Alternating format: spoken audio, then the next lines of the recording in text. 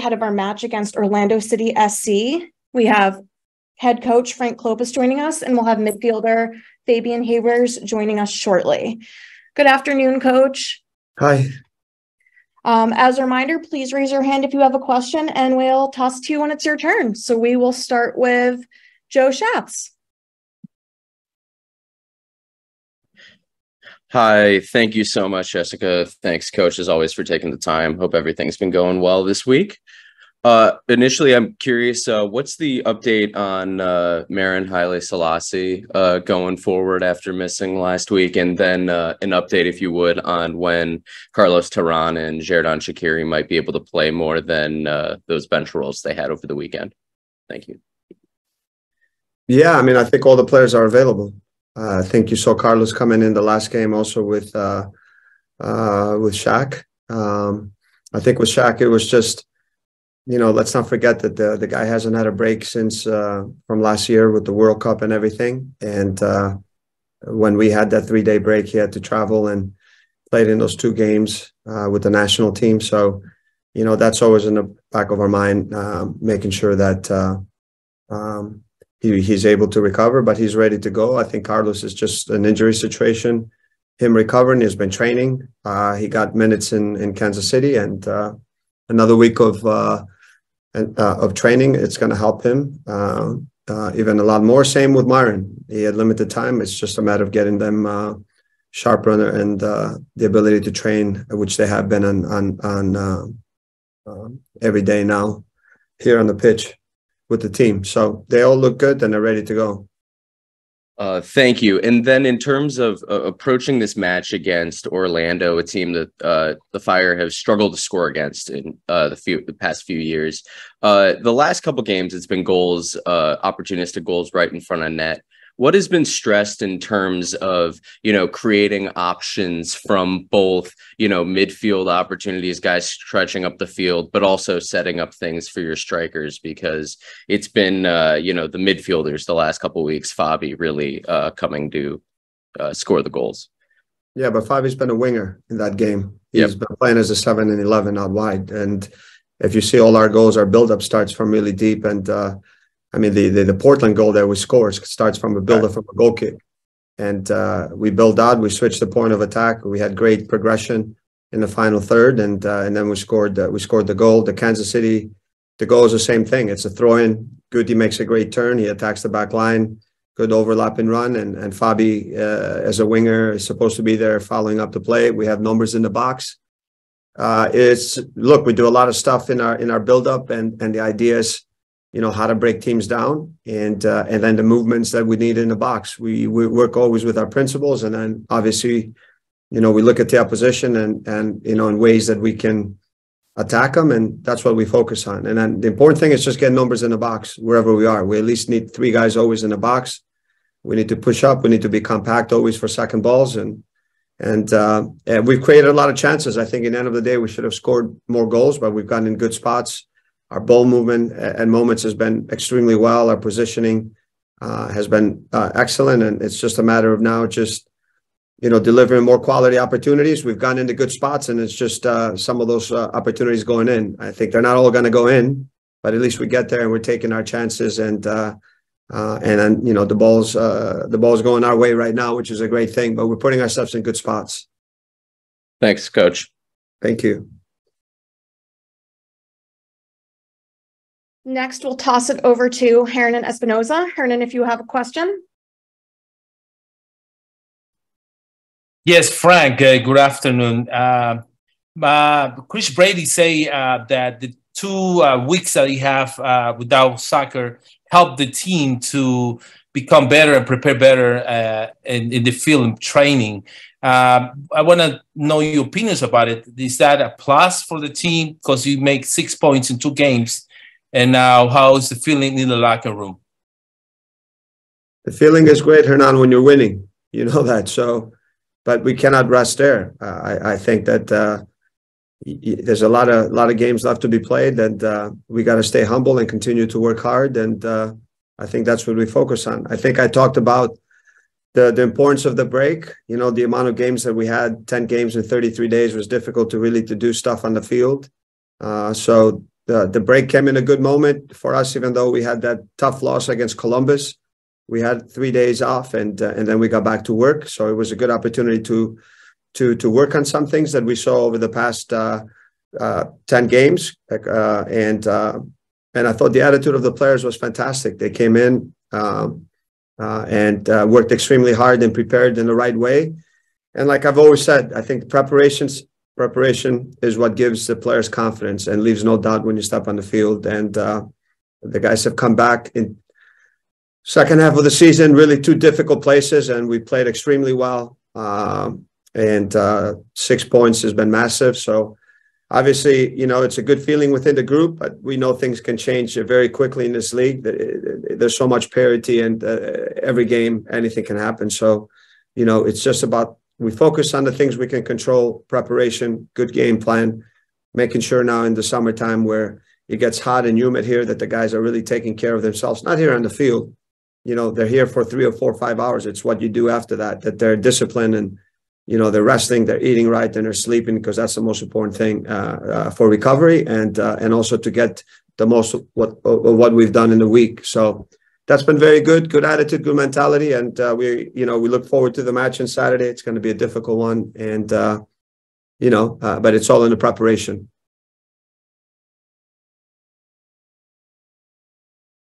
Thanks, Coach. We'll next go to Miguel from ChicagoFireFC.com. Hey Frank, how are you doing? I'm good. How are you? Yeah, you got two results on the road, and I'm wondering how can the team prepare to use the momentum in the last two results for another away trip in Orlando? Yeah, I just think that uh, you know I think it gives a team confidence knowing that you can go on the road and and perform well. Uh, and then obviously, you know, I mean, the second game in Kansas City, getting a clean sheet uh, was very important from from uh, a mentality where we we we really were disciplined all the way till the end and we didn't give anything away and then found ways really to be dangerous. So i think it's just about confidence and belief within the group uh, and that's that's that's always important knowing that you can go in difficult places and get results.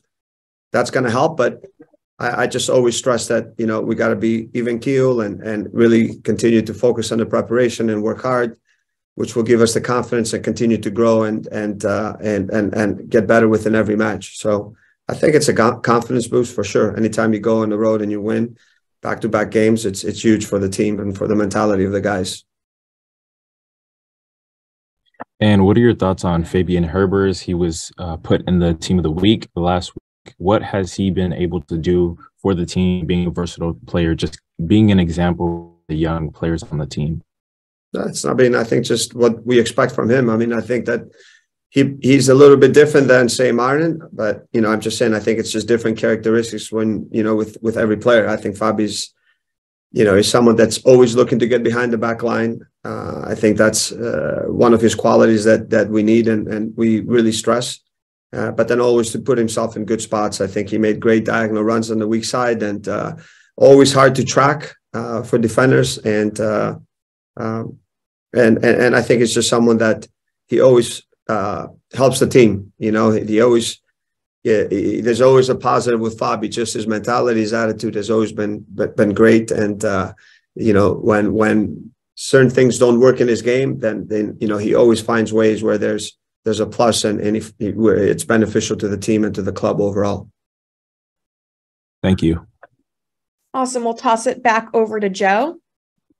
Thanks again. And coach, with uh, Kei Kamara being named uh, to the MLS All Star team as a commissioner's pick, I'm, I'm curious your thoughts on Kei as a player in person, uh, having worked with him for half the year. He talked about uh, when he first arrived that uh, it was Ezra who really kind of pushed for him to come in, at least from his perspective. So I'm curious, as someone uh, who's been able to watch this firsthand, what you've seen and what his place is really in MLS history.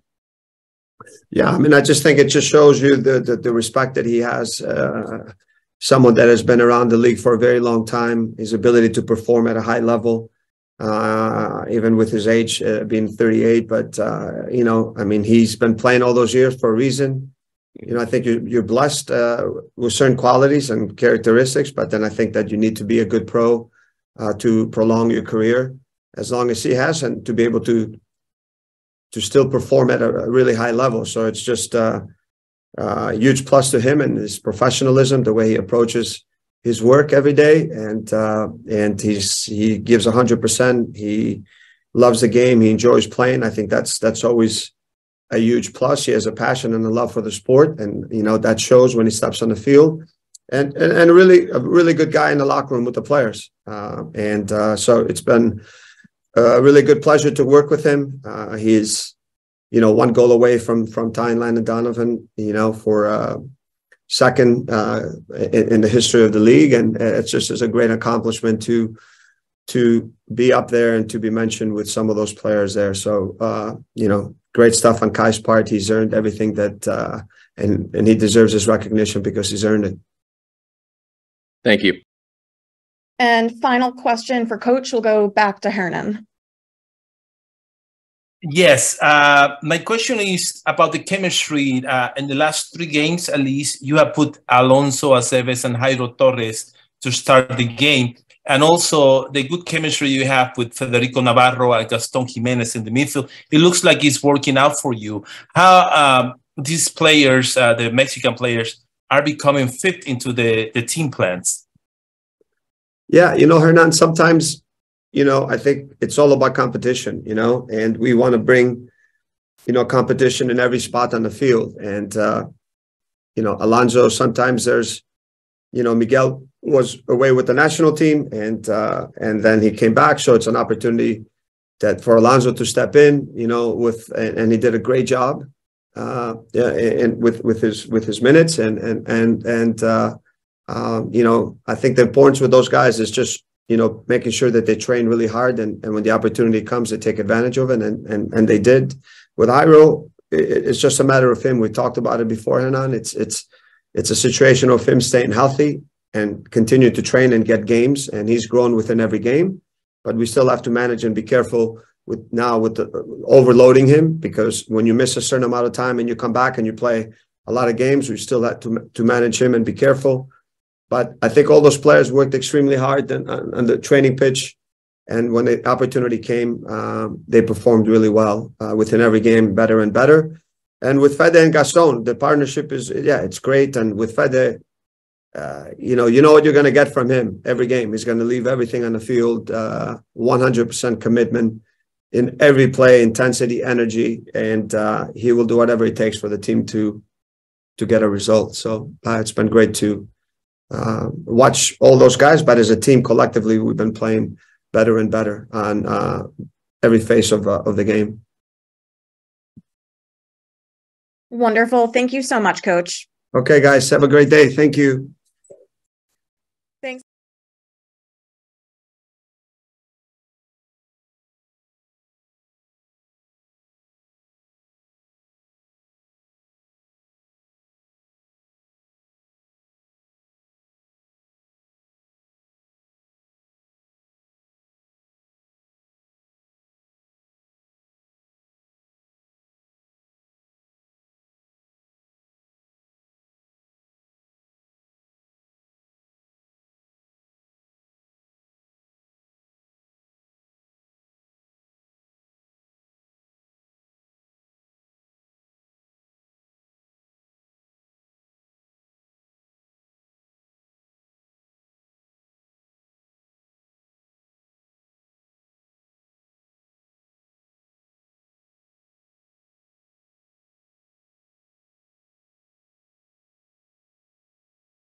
Chats.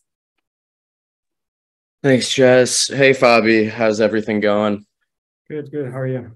I'm great. Thanks. Thanks always for taking the time. I really do appreciate it. Uh, just curious, your thoughts uh, on your both the team's recent spell of success and your recent spell of success, uh, scoring two and two, playing that winger position on the right with Maren being out, and just kind of how you're feeling overall at uh, this point of the season. Yeah, I think we had uh, two um, good team performances on the road, and I think that's what it takes to to win on the road in in MLS. It's never uh, easy to go on the road. You know, we we know our record historically. You know, um, it's it's always yeah difficult to go away, time zones, the heat, the change of climate, and everything.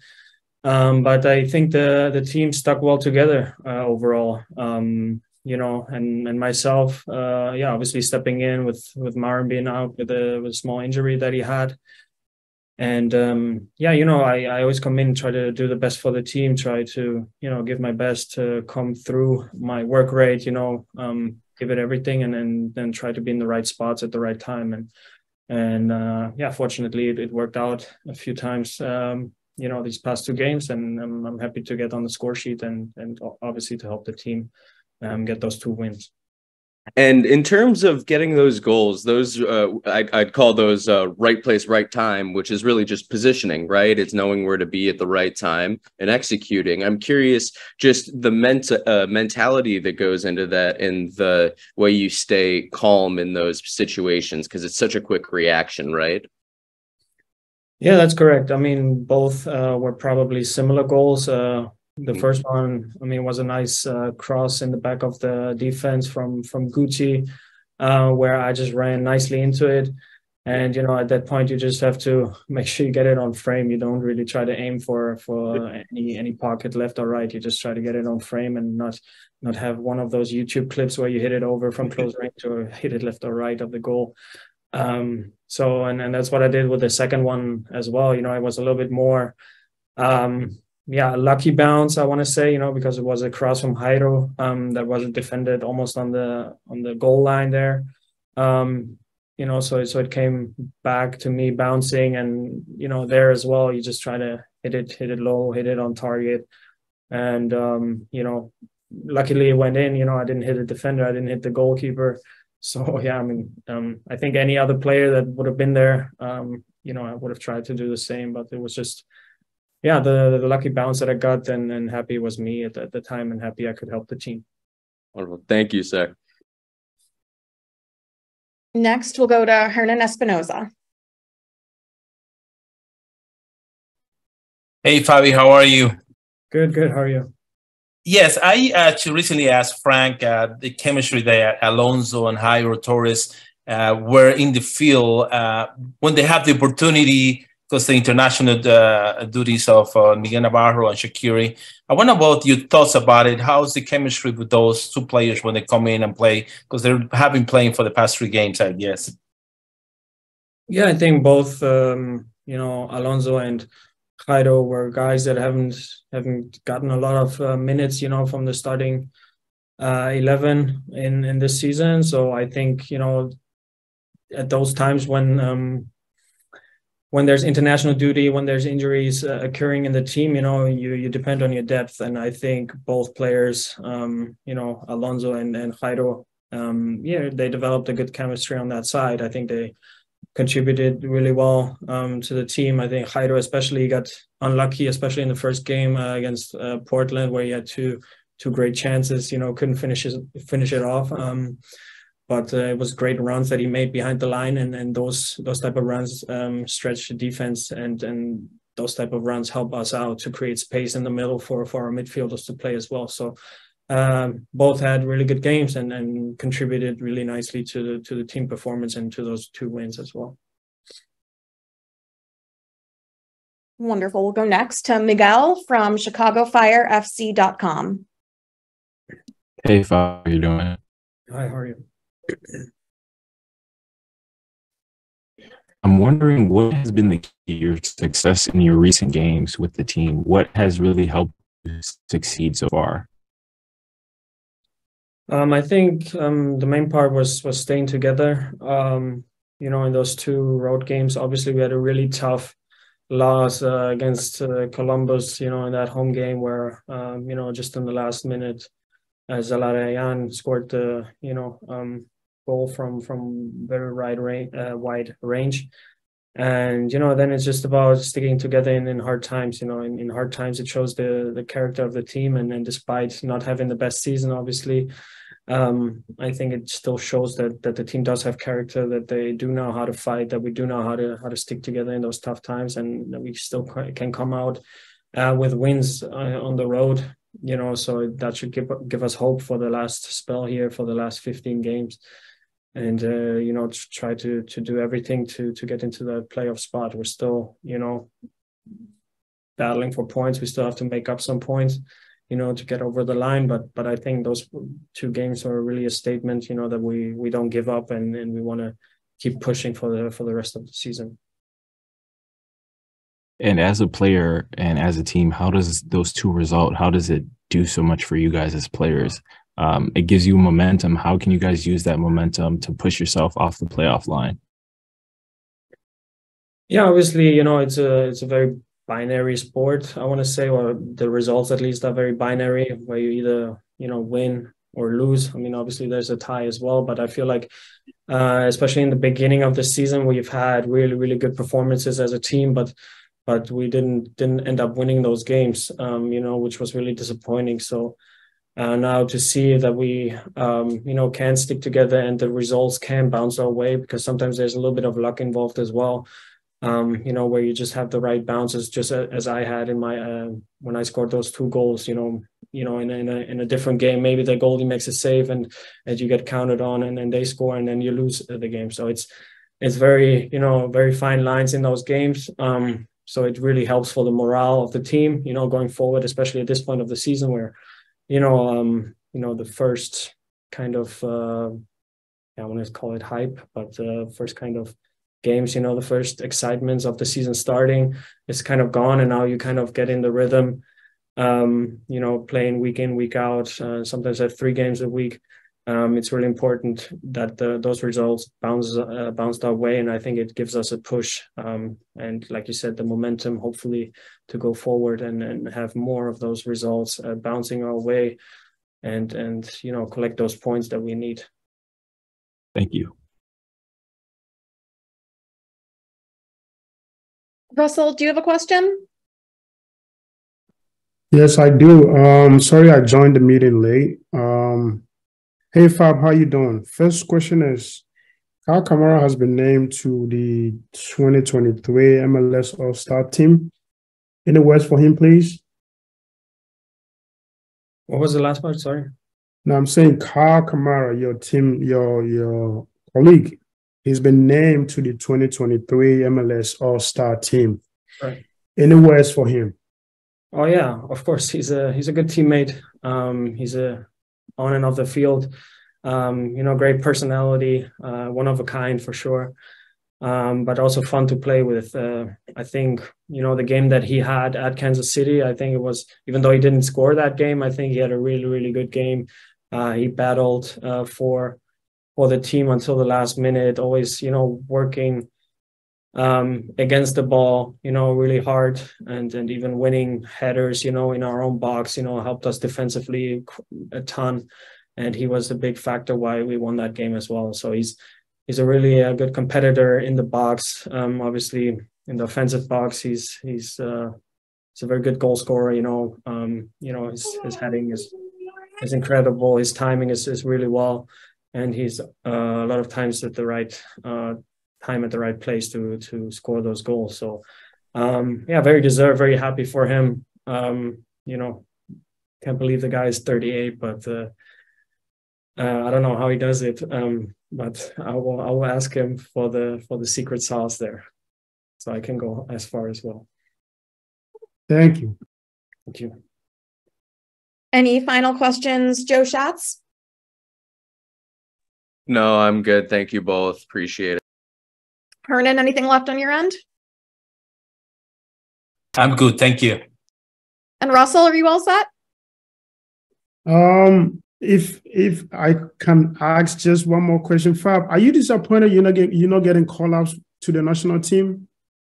Mm, I'm very realistic about myself, and uh, I think the German national team uh, is very competitive. I think guys like Hani Mukhtar, who have scored uh, maybe 20 goals last season. Uh, even even these guys haven't been called up. So um, I think I think I'm very realistic and and very you know down to earth when it comes to that. But uh, if you want to you know have some numbers for me to call or or you know some some push for me to make, I, I will gladly accept it. But uh, I think I think I'm good where I'm at. Thank you.